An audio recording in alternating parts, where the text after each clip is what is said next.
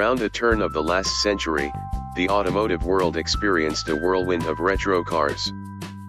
One brand after another came up with modern-day recreations of beloved models of yore. From the Volkswagen New Beetle to the Chevrolet SSR to the Ford Thunderbird. And of course the Chrysler PT Cruiser, which its maker deemed too cool to categorize. Aside from the faltering Beetle, only one model has prevailed. BMW's Mini.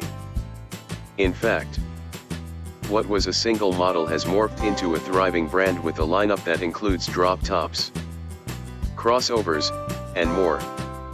Something Fiat has tried to emulate with its 500. Mini's core. However, remains the hatchback or, as the self-consciously quirky brand prefers to call it, the hardtop two-door. Less than two weeks into 2018. BMW is rolling out the 2019 hardtop. In both 2 and 4 door configurations, as well as a refreshed convertible. The 2019 version goes into production in March. In the U.S. market, the changes it brings are purely cosmetic. Other markets see powertrain revisions as well, and those may come to the States at some point. Engine choices remain the same.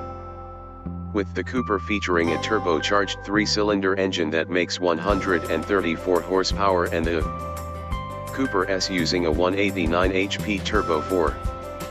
The U.S. Models keep the standard 6-speed manual and optional 6-speed automatic transmission. Other markets get a 7-speed dual-clutch gearbox or an 8-speed automatic. The 2019 model sports a new Mini logo, which adopts a contemporary two-dimensional design that henceforth will grace every Mini model. The optional LED headlights feature a new look. And ordering those headlights also brings new LED tail lights with a British flag design. The list of new extras includes a backlit dash with yet another Union Jack motif. Plus there are new wheel designs. Three new colors. A new brown leather upholstery option. Puddle lamps that project the Mini logo onto the ground. An updated 8.8-inch touchscreen navigation system, and Apple CarPlay. The individualization program. Mini Yours customized. Lets you add custom designed 3D printed parts to the dashboard and to what Mini calls side. Scuttles, the exterior side mounted turn signal surrounds.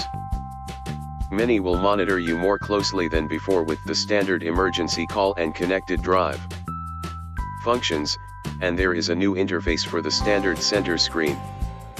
The drive mode selector. Previously a cheap feeling collar around a gear shifter trim, is now a toggle switch. The styling tweaks and changes to optional equipment aren't a huge deal. Although they loom slightly larger here than they might with other cars. Given Mini's rabid following and the brand's laser focus on design and personalization.